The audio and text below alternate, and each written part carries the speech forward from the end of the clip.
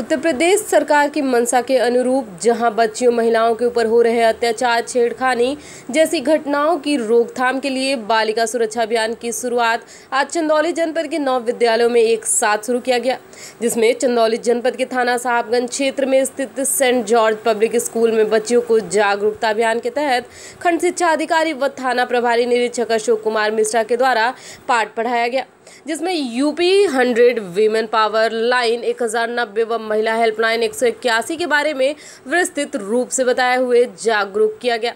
तथा प्रभारी निरीक्षक अशोक कुमार मिश्रा के द्वारा बच्चियों को बताया गया कि आप लोग किसी भी अनजान व्यक्ति जिसको आप नहीं जानते, उससे बातचीत नहीं करनी चाहिए।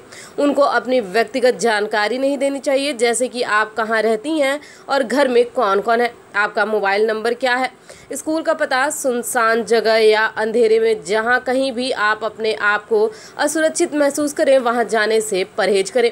किसी भी जानने वाले व्यक्ति का व्यवहार भी आपके प्रति अच्छा ना हो या आपको अच्छा ना लगे, जैसे गलत तरीके से देखना, गलत तरीके से छूना तो आप अपने माता पिता व टीचर से इस बात को ज़रूर बताएँ। जहाँ आपको कानून की मदद चाहिए, वहाँ आपके लिए तुरंत सहायता के तौर पर सरकार की तरफ़ से यूपी हंड्रेड नाम से 24 घंटे पुलिस कार्य करती है।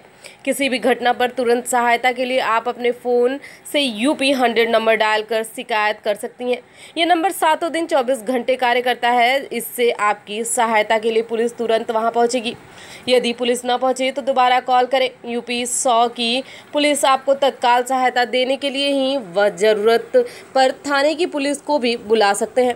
प्रदेश की महिलाओं एवं लड़कियों के विरुद्ध होने वाले विभिन्न प्रकार की छेड़खानी पर तुरंत कार्रवाई के लिए वुमेन पावर लाइन एक हज़ार नब्बे निरंतर कार्य कर रही है।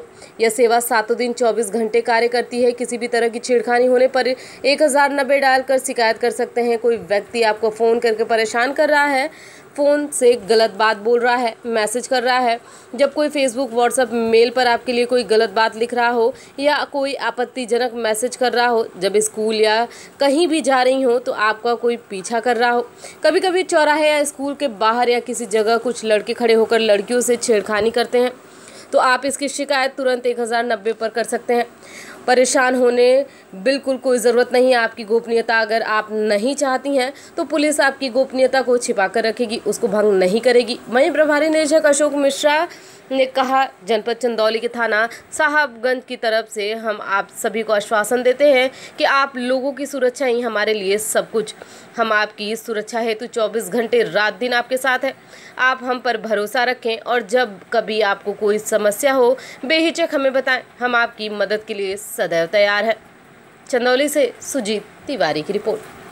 द्वारा बच्चों के को जागरूक करने के लिए जो कार्यक्रम चला था, क्या था? और उसमें क्या क्या सिखाया गया आज दिनांक एक सात उन्नीस को शासन की मंशा के अनुरूप बालिका सुरक्षा जागरूक अभियान चलाया गया था, जिसके तहत थाना क्षेत्र के विद्यालय जॉर्ज सेंट जॉर्ज स्कूल में बालिका बालिकाओं को उनकी जागरूकता के संबंध में, यौन शोषण के संबंध में, सुरक्षा के संबंध में उन्हें जानकारी दी गई और उन्हें जागरूक किया गया।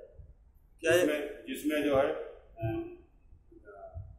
ब्लॉक शिक्षा अधिकारी तथा अन्य विभाग के लोग उपस्थित रहे, विद्यालय के प्रबंधक, टीचर व प्रधानाचार्य भी मौजूद रहे, जिन्हें जागरूक किया गया और उन्हें शासन द्वारा प्रदत्त जो पोस्टर बैनर दिया गया था, उन्हें लगवाया गया और जागरूक बनाया